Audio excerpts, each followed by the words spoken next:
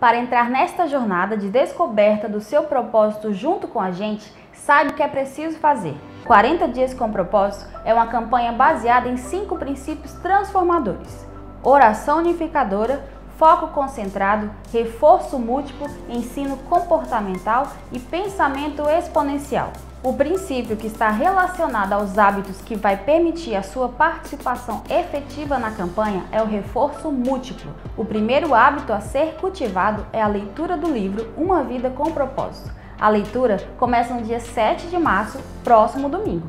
Você pode adquirir esse título na livraria da Cibapa ou em qualquer loja de sua preferência. Juntos, leremos um capítulo por dia no nosso canal do YouTube às 7 da manhã. O vídeo com cada leitura ficará disponível por 24 horas. Vale destacar também que o livro Uma Vida com Propósito é um best-seller que já ajudou milhões de pessoas ao redor do mundo a descobrir seu propósito.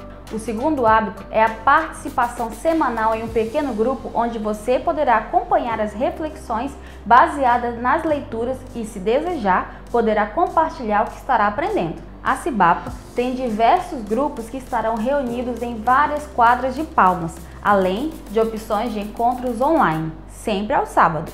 Acesse o link cibapa.com 40 dias ou no chat e preencha o formulário. Nós vamos entrar em contato com você. O terceiro hábito é a participação nas celebrações de domingo.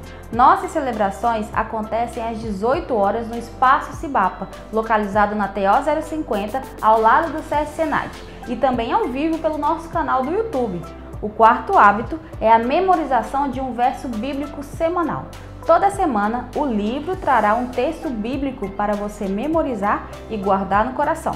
Queremos acrescentar um quinto hábito: entrar para o nosso canal do Telegram.